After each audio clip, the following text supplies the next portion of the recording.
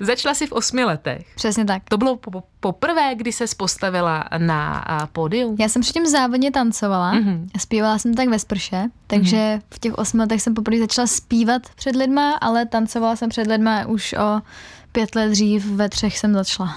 Jaký byl rozdíl mezi zpíváním a tancováním? Um, Vlastně to nebylo pro mě tak eh, velký rozdíl, protože já jsem byla takový showman od mala, že jsem to akrát z obejváku přesunula na stage, takže tenkrát, já si to při mě ani zase tak nepamatuju, to tak už nechci ani počítat dlouho zpátky. je mi 24, takže je to fakt dlouho, a, ale myslím si, že tenkrát to pro mě zase takový velký šok nebyl. Takže to začalo tak, že jsi z doma jako zpívala, tancovala mm-hmm. a mhm. rodiči si řekli, hele, tenkrát... ta holka má asi talent, mohla by začít se něčemu věnovat. No tenkrát jela Hannah Montana a High School Musical. A to tenkrát pro mě bylo jakože něco, co já prostě chci dělat taky a chci být další Hannah Montana, takže tak to začalo vysněná uh, zpěvačka, teda vysněná role byla takhle nějaké té Hany Montany, která Přesně třeba tak. i vystupuje ve, ve filmu nebo má svůj vlastní seriál. Měla si mm. i takovéhle ambice? Nebo spíš jenom to zpívání? Co se týče herectví, tak to mě, to mě vždycky hrozně táhlo. A chtěla bych se tomu možná ještě i v budoucnu věnovat. Měla jsme s holkama svůj vlastně muzikál. To byl takový můj první herecký pokus a vlastně to vyšlo moc pěkně a hrozně mě to bavilo. Takže se tomu vůbec nebráním tak to bylo Five Angels. Ano. Dělali jste si muzikál, já vím, že jste jezdili do zahraničí jako mm-hmm. skupina. Mm-hmm. A přitom vlastně ze začátku to byly holky, které byly tvoje eh, kámošky z tancování. Takže jsi se takhle přitáhla k sobě Potom do už ne, my jsme se párkrát mm-hmm. vyměnili, mm-hmm. ta mhm. formace. Takže z začátku ano, to byly většinou holky, s kterými jsem tancovala, ale, ale potom už po nějakých pár letech jsme se proměnili, už tam byly spíš holky, které prošly konkurzama a a tak. A taky uměli dobře tancovat. Ty uměli taky výborně tancovat. Když jste zpívali, tancovali jste přitom asi jo, že jo? To byla naše taková největší síla, že si myslím, že jsme docela dělali dobrou show, že jsme vždycky na tom, na té stage to rozpívali, roztancovali a měli jsme vlastně i ten svůj muzikál potom, s kterým jsme cestovali po České i Slovenské republice, takže jsme k tomu pak přidávali občas si to hraní a bylo to, bylo to super. Dělali jste i předskokanky slavným zpěvákům, mhm. zpěvačkám, mm-hmm. skupinám. Prozrať nám, kterým? Tenkrát jsme byli na spoustě festivalech, eh, především v Anglii a nej, nejdíl jsme byli s Union J, ale měli jsme tam i Little Mix, Jessie J, James Arthur a tak. Jaké to je pro holku, které je třeba 8 let, mm-hmm. když se dostane do skupiny najednou, je vidět e, v televizi, mm-hmm. je vidět, e, protože já vím, že ty si dělala vlastně i rozhovory v televizi, měla mm-hmm. si svůj vlastní pořád. Byl už tehdy YouTube, jestli si byla vidět na ne, YouTube? Ne, ne. To ještě nebylo, mm-hmm. ale byla si vidět v televizi, jezdila si po mm-hmm. různých vystoupeních. Jaké to pro tebe bylo najednou být tou známou holkou, kterou asi, lidi na ulici poznají. Asi v těch osmi letech to zase tak um, takový nebylo. Potom nejvíc jsem to pocitovala v nějakých 13, 14, 15, tam už to byl velký rozdíl. Potom od těch 16 jsme začali právě cestovat do té Anglie, kde jsme začali uh, být před těma třeba i 30 až 60 tisícema lidma, tak tam už to potom bylo velký, to už jsem to vnímala hodně, ale když mi bylo těch 8 let, tak jsem byla fakt maličká a jsem byla ráda, že jsem ráda. Co tréma? Měla si trému? Mm, já jsem na to nikdy netrpěla a vlastně čím jsem starší, tím tu trému mám víc. Je to asi i tím, že se to mnohem víc uvědomuju, tu vážnost té situace, předtím jsem byla ráda. Si pamatuju, že tenkrát jsme byli v nějaký televizi na mém prvním rozhovoru a já jsem se tam rozbrečela, že už je konec, jak mě to bavilo, takže teď už, teď už nebrečím. Teď, už, teď brečíš, že začala, Nebo ne. brečím až v autě vždycky, až jdu domů. Ale uh, asi teď právě tím, jak jsem starší a mnohem víc si uvědomuju, že ty lidi na to koukají a komentují a tak, tak tím jsem asi nervóznější. Když někdo je eh, v dětské skupině, mm-hmm. co všechno to obnáší? Co, jak jste se třeba scházeli, jak jste trénovali, jak jste se připravovali na vystoupení? Protože já vím, že třeba dětská skupina Lollipops, tu jsme tady taky mm-hmm. měli, s holkama jsme to probírali, jestli je to stejné, jako to bylo, nebo jestli se to nějak změnilo? Já si myslím, že tenkrát my jsme to měli, uh, co týče nějakých příprav, asi o něco těžší protože jsme přece jenom uh, víc koncertovali, víc jsme měli uh, chorošky a tak. Já jsem holkám z Lepov z chorošky dělala, takže, takže vím, jak těžký to má. My jsme uh, to v tomhle to měli asi o něco náročnější, ale zase jsme neměli třeba ten YouTube kanál, jako holky mají. Takže tam to bylo spíš o něčem asi trochu jiným. A Připravovali jsme se, vlastně každý den asi bylo něco, co jsme dělali a v jednu chvíli jsme fakt byli hrozně zaneprázdnění, že jsme měli individuální plány ve škole a věnovali jsme se tomu opravdu na 100%. Ale vždycky si věděla, že hudba je to, co chceš dělat, nebo si měla ještě v záloze třeba veterinářku, a nevím, nebo... Já, já právě, že ne. Jediný, co opravdu jsem měla, tak ještě uh, v mysli bylo to herectví, mm-hmm. ale jinak, uh, i když vlastně skupina skončila, tak já jsem uh, za celý život ne, ani na chvilku nepřemýšlela, že bych dělala něco jiného, takže jsem fakt měla jasno v tom, že v tom musím pokračovat, protože co přece jiného budu dělat, když to dělám už nějakých 11 let. Playing mm-hmm. it cool. Dozvěděla jsem se, dokonce jsem si přečetla o něm, že to je tvůj první uh, zamilovaný song, milostný, že si vždycky dřív předtím dělala takové spíš jako spíš rozchodové písničky. No ono se o tom vždycky píše líp, mám pocit. Mm-hmm. Že mhm. vlastně když je člověk nešťastný, tak to zní tak jako srší a když je šťastný, tak nemá čas na nic jiného, než být šťastný. A teď jsi šťastná. Teď jsem šťastná. Teď jsi šťastná, ale šlo to napsat taky. ale tak někdy se zaspomínám, že jo, na nějaký nešťastný moment ještě. teď jsi šťastná, napsala si o tom uh, tuhle písničku, ano. věnovala si své, ji svému příteli, se kterým mm-hmm. právě teď žiješ v Americe. Mm-hmm. Uh, jak hodně si inspirovala se uh, vaším životním příběhem pro tenhle song? Řekla bych, že docela dost. A hlavně, já jsem o něm už napsala, teď se asi trošku prozradím, ale víc písniček a ne všechny byly tak šťastný jako tahle. Takže když jsem mu to pustila, tak uh, měla velkou radost, že z toho automaticky poznal, že to je o něm. A to si myslím, že znamená, že je to o něm vlastně hrozně moc, si to z toho poznal. O čem ten song tedy je? Je to o tom, že já jsem taková velká romantička uh-huh. a mám ráda prostě ty sladké řeči a ty romantické chvíle a tak. A mám pocit, že dneska už se na to zase tak nehraje a ty kluci už to tak neumějí. Takže tam vlastně zpívám o tom, že sice to hraju, jakože mě to nezajímá, ale vlastně bych to furt všechno chtěla hodně romantický, jak nějak z nějakého filmu. To je fakt, to bychom měli klukům, eh, klukům no, možná já, říct, že, že jo. trošku toho gentlemanství... Můj děda byl takový jako... větší romantik, než teď ty kluci v dnešní době. Hmm. Občas přinést kitku, že jo. Přineste kitku a... Nebo napsat nějaký psáníčko, Přesně tak. Že jo? A dřív na to, to já jsem. ve škole házeli, že jo, různě. No, nebo na gumu to napište cokoliv, pošlete to po, po spolužákcích. No jasně, aby, aby ta holka měla pocit, že jako prostě dřív, že jo. Přesně tak. Hmm. Takže eh, to si napsala o svém příteli, mm-hmm. napsala jsi to anglicky. Když mm-hmm. píšeš, eh, je to pro tebe komplikované psát v angličtině? Mm, asi bych řekla, že furt je to těžší než v češtině. Teď přemýšlím, jestli fakt je nebo není, protože já že jo, žiju v Americe, takže mluvím anglicky každý den, co jsem tam. Už mám pocit, že se mi i sny v angličtině zdají, mm-hmm. protože už jsem tam pár let a předtím jsem byla v Londýně. Mm-hmm. Takže angličtina už je pro mě, nechci říct jako čeština, protože když přejedu vždycky do Česka a jdu někam tady s kámoškou na kafe a mluvím dvě hodiny česky, tak je to hrozně příjemný. A je to zase zpátky, a ta je to čeština. zase zpátky, ale je pravda, že už mám takový ten hrozný zlozvek, který spoustě lidí vadí a to je, že mixuju angličtinu s češtinou. I teď vlastně, když mluvím s tebou, tak mám pocit, že bych vždycky ti chtěla něco jako říct rychle anglicky, protože to je vlastně všude, i na tom TikToku a všude vlastně vždycky vidíš nějaký video a i mně se stane, že mi tam prostě přiletí anglický slovíčka a všimnu se toho, až když to je dva dny venku. Je třeba nějaké anglické slovíčko, které takhle hodně používáš Já, i, v češtině? Takhle bych ti řekla asi nějaká fráze vždycky celá. Že bych třeba řekla, že jsem přišla, řekla bych I'm back like I never left. že bych to vždycky tak jako řekla. Jsem to zpátky, jako kdybych nikdy neodešla, ano, jasně. Ano, a tady to furt říkám, to je pravda, že vždycky přijdu, jdu na záchod a pak si jdu, sednu zpátky ke kámošce a říkám, I'm back like I never left. Mm-hmm. Ona, OK. a pak si vzpomeneš, že si vlastně v Česku Ani ne zpátky. právě, ne. už to ani nedochází většinou. Mm-hmm. A to je na tom to špatný, že jo, protože potom to nevím. Ale ještě pořád ta čeština zní česky. Já vím, že spousta, eh, spousta zpěváků, nebo mm-hmm. ne mhm. zpěváků, i třeba uh, různých um, sportovců, kteří se odstěhovali do Ameriky, tak potom, když se vrátí zpátky, tak najednou člověk z toho strašně slyší uh, ten přízvuk. To uh abych řekla pravdu, si myslím, že je asi trošku blbost, protože já mám pocit, že to ty lidi hrozně často hrajou. Přece nemůžeme přijít o český přízvuk. Můžeme právě přijít o to, že si nemůžu tak rychle vzpomenout na ty český slovíčka, mm-hmm. ale abych tady přišla a mluvila takhle, tak si myslím, že to je trošku div. To si nemyslím, že takhle úplně je. Písničku si uh, skládala teda ty. Ano. Pomáhal ti někdo s produkcí? Ano, ano. Pomáhali mi dva producenti. Jeden dokonce psal i pro Selenu Gomez, což bylo hrozně fajn takhle si zaspolupracovat s někým, kdo pracoval i s takhle velkýma jménama. Takže to bylo skvělé a, a, a psali jsme to přes Zoom call, což je prakticky přes něco jako videohovor. Mm-hmm.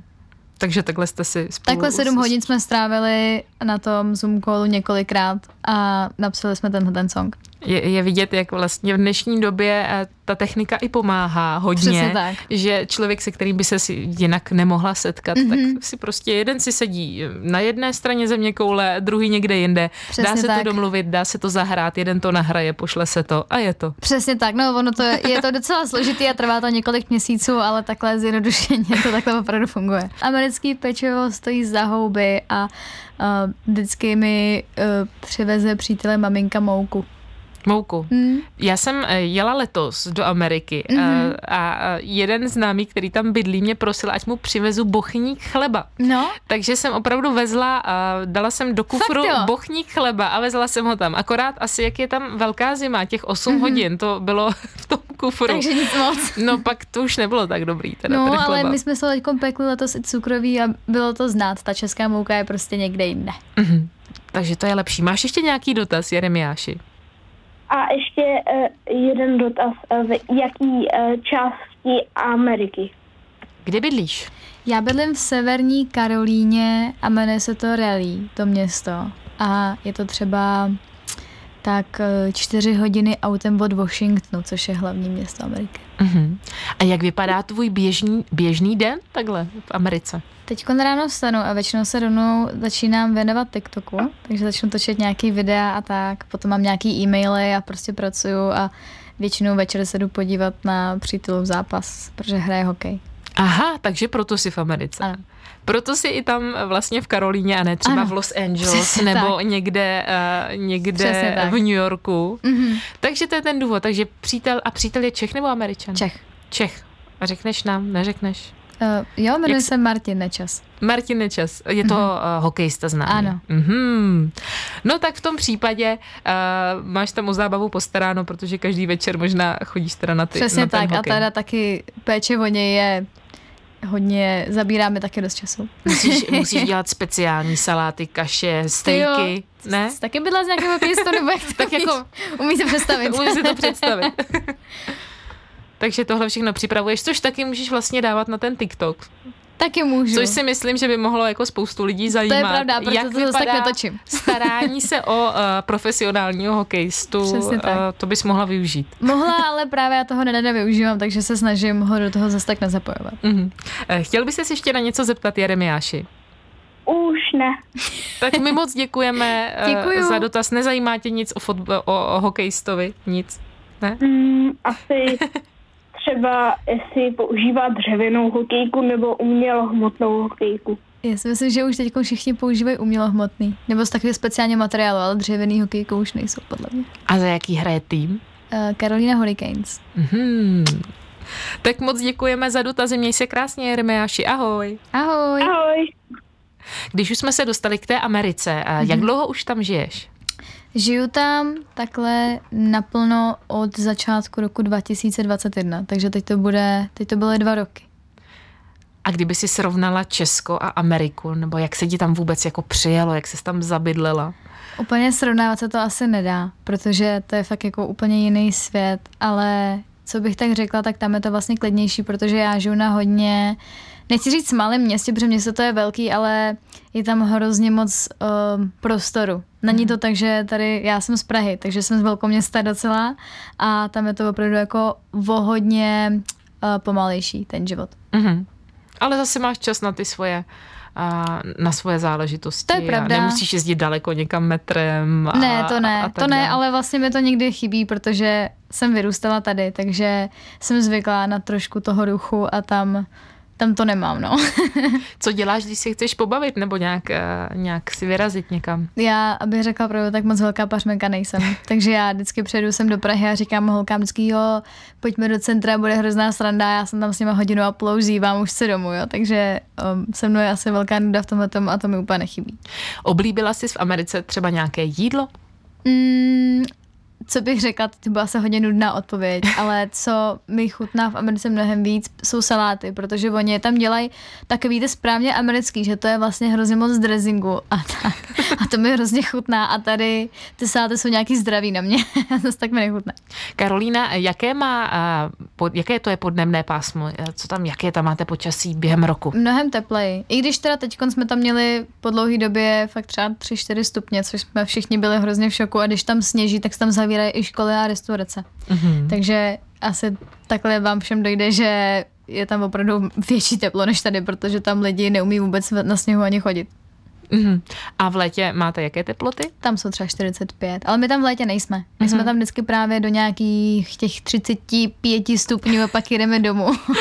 to je krás, krásná, a jako, jak, jak, jak si hledáte letenku, koukám, kdy bude 35 stupňů a, jdu, a pak šup a domů. Šup 36 a už jsem tady.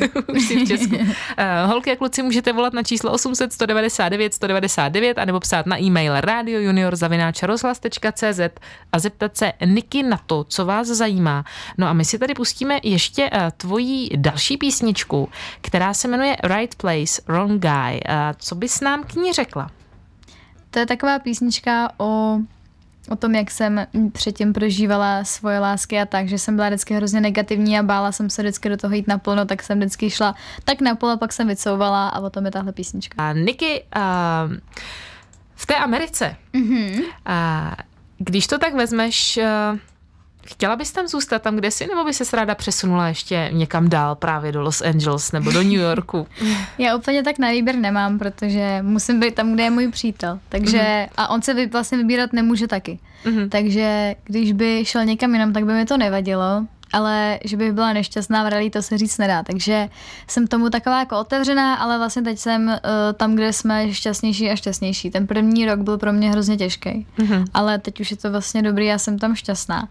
A, ale co bych tak jako chtěla spíš říct, že já se úplně v Americe do konce života nevidím.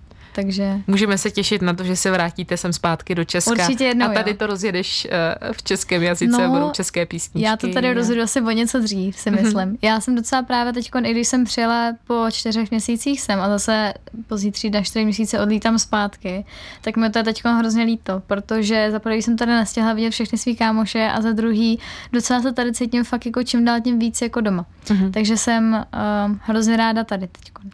Ale já jsem si všimla, že na Instagramu máš nějakého pejska. Tak ano. to by mě zajímalo, jestli mm-hmm. ten pejsek je teďko sám eh, v Americe, nebo ne, jestli byl tady. Ta uh, Giginka je teď sama na bytě tady v Praze. Já mm-hmm. jsem mhm. s ní přiletěla sem a letím s ní právě zase zpátky. A jak se převáží pejsek? No, o jí je pět měsíců, má dvě a půl kila, takže může být se mnou normálně na palubě, ale je to 14 nebo 15 hodin letu, což pro ty štěňátka je docela náročný, i když On je teda hrozně hodný pejsek, ale pak už teda se vstekala. Pak už byla poslední let, protože to jsou tři lety, tak ten poslední let už na mě koukala hodně vraženým pohledem. Mhm. A co má nejradši? Míček. Uh-huh. Míček je pro ní celý její svět a když jí dohází míček, tak ho má nejradši. Máme tady dotaz od našeho věrného posluchače Kubaly. Dobrý mm-hmm. večer, Radio Junior. Chtěl bych se zeptat, jestli se Niky uh, píšou líp písničky v angličtině nebo v češtině a kolik už jich napsala. Děkuji za odpověď, váš věrný posluchač Kubala. Tak to už říkala jsem už, že uh, asi furt v češtině, i když už angličtinu mám hodně blízkou. A napsala jsem v češtině, jsem jich vlastně napsala mnohem méně, protože když jsme byli ve skupině, tak jsme si svoji vlastní hudbu nepsali. Mm-hmm. Ale v angličtině už jsem jich napsala takových ze vším všude třeba 30 bych řekla, že jo, mm-hmm. ale vydala jsem jich mnohem méně, protože ne každá písnička, kterou napíšu, uh, uvidí světlo světa, takže Řekla bych tak 30, ale právě teď budu poprvé psát česky, tak doufám, že mi to půjde dobře. Písničky jsou v šuplíku a čekají na to, až, až budou Některý čekají a některý už jsem slyšela teď a říkám si, to ne, to není moje. Píše nám Mirek Žáček z Olomoučan. Jaká je Niky nejoblíbenější písnička z dětství a kdo jí zpíval, když byla malá? Nejoblíbenější písnička z dětství. Já když jsem byla malá, tak buď jsem milovala fakt High School Musical, mm-hmm Vím, že tam je jedna písnička Boys Are Back. A z českých jsem vždycky milovala Michala Davida. Mm-hmm. Takže nějaký uh, z nálezů a ztrát, každý mi tě lásko závidí. Disko příběh. Disko příběh, Cčka, to byly všechno moje písničky. A teď, kdyby si měla vybrat, s kým by si chtěla zpívat? Mm, Tady z českých nebo celkově? Všechno. Tady z českých, já to furt měním, já mám docela ráda Majka Spirita, takže kdybych měla mít nějaký třeba takovýhle duet, tak by se mi to líbilo s ním. A nebo a nebo třeba Viktor Šín, Mhm. který se mnou nikdy písničku určitě neudělá, takže Proč si myslíš? no, myslím si, že ne. Ale tak no. A ze zahraničních zpěváků. Ze zahraničních asi, já ty já se nemůžu brát jednoho, ale uh, nejvíc jsem vždycky milovala Eda Sheerana a Taylor Swift, takže takže by to bylo fajn, kdyby mi zítra zavolal Ed, že se mnou chce dělat duet. Já vím, že Ed Sheeran to snad i jednou udělal, že si takhle někoho našel. To je pravda, s kým, to je s pravda. kým si chtěl zaspívat a Hmm, takže to tam dokonce za asi- ním i letěl. Takže naděje je. Třeba jo. Třeba jo, musíme to sfouknout během zítřka, protože pak už odlítám. Takže snad při, přiletí brzo. Eh, Já jsem si všimla, že tvoji písničku eh, Playing It Cool hraje i eh, radio, Radio One od Mhm. BBC, což je teda velká čest, protože to je, To je. britská stanice velice známá. Mhm. A jak ses dostala takhle do, do rotace zahraničního rádia a ještě k tomu BBC? Mhm. No trvalo mi to samozřejmě hrozně dlouho, protože uh, tam musíte poslat tolik písniček, aby vás hrála, že se ani neumíte, pře- neumíte představit. Takže já jsem tam takhle po, po, posílala každou písničku, kterou jsem vydala a konečně se mi to povedlo s touhle.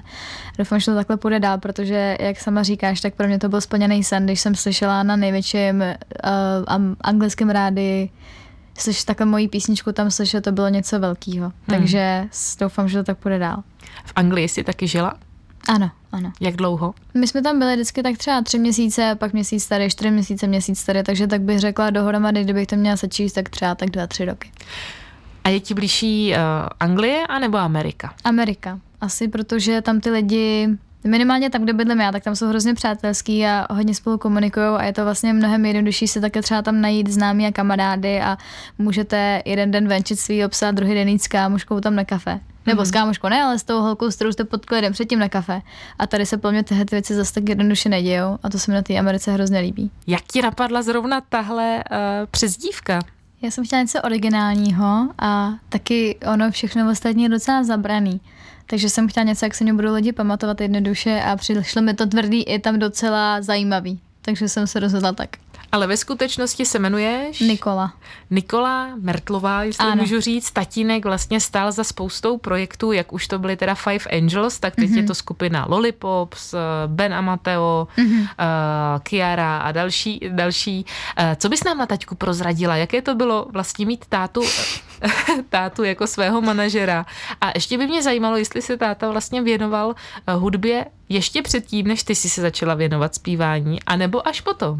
Teďka se začal věnovat hudbě až se mnou, nebo spíš Mhm. mm-hmm. já až s ním.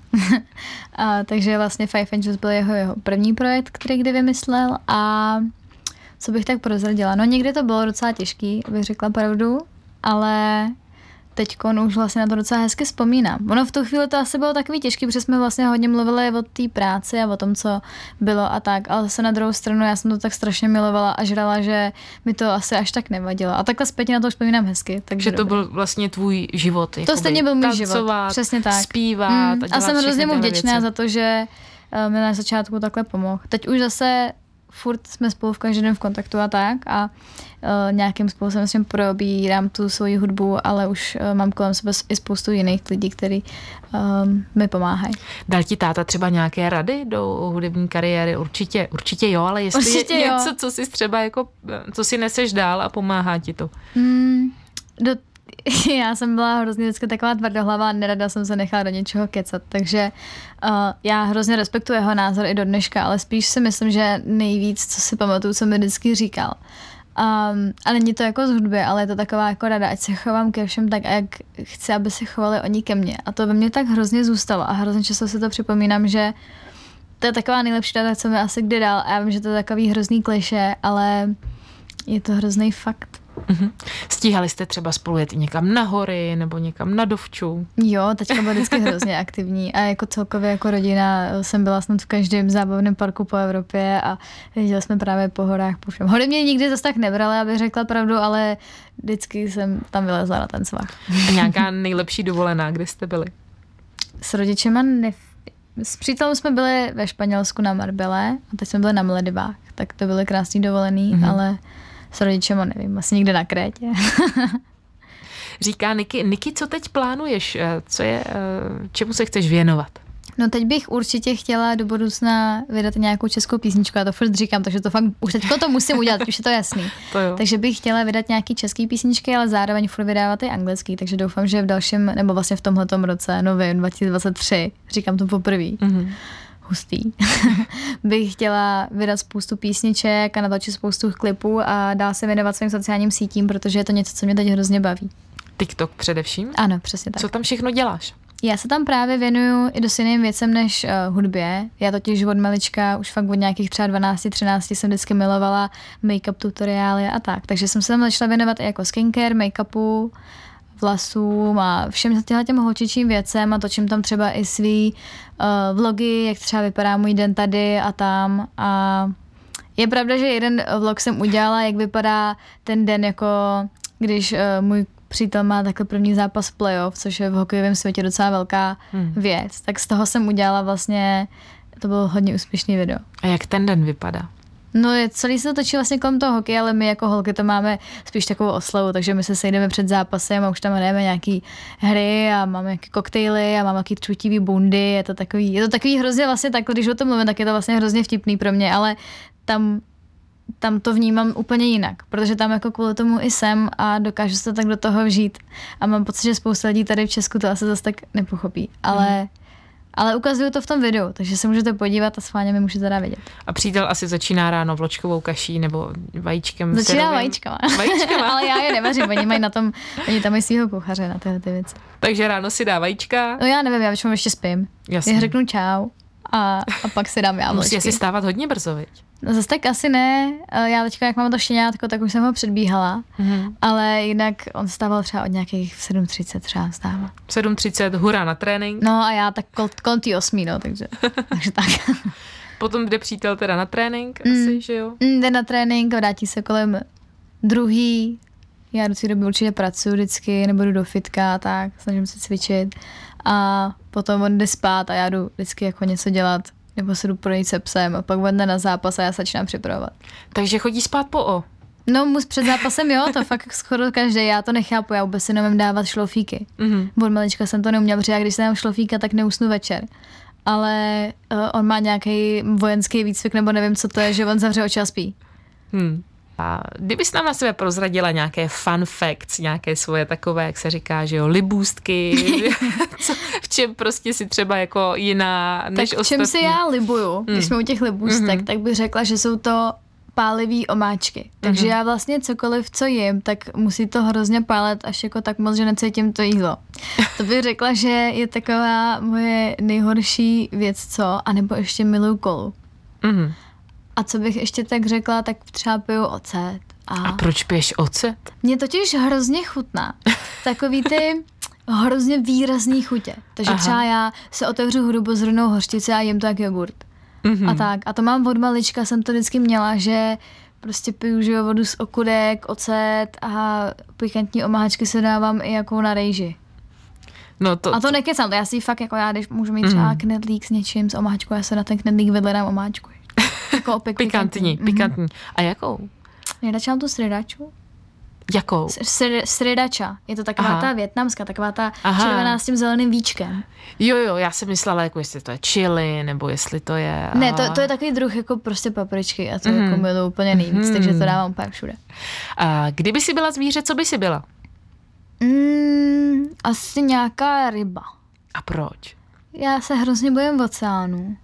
Mm-hmm. Asi možná jsem už tam něco viděla dřív v mém minulém životě. Jakože se bojíš oceánu, tak bys byla ryba? No já mám totiž pocit, že já tak tuším, že to tam musí být fakt jako hrozný. A kdybych už jsem to někdy v mém minulém životě viděla. Aha. Nevím. Takže ale... nelezeš do vody? Jako lezu, my jsme byli právě s přítelem na Maledivách mm. a tam uh, jsme se třeba mohli potápět jako se žralokama a tak a to jsem se neodvážila. Ale příště až někde budu, tak se odvážím. A byla by spíš malá ryba nebo velryba, Velká. což teda není. Ne, ne, ne, takový velryba není já, ryba, já hrozně ale žralok by si byla. No jako obdivu hrozně žraloky. Mm-hmm. Takže viděla jsem spoustu dokumentů na ně a tak, takže třeba to by jsem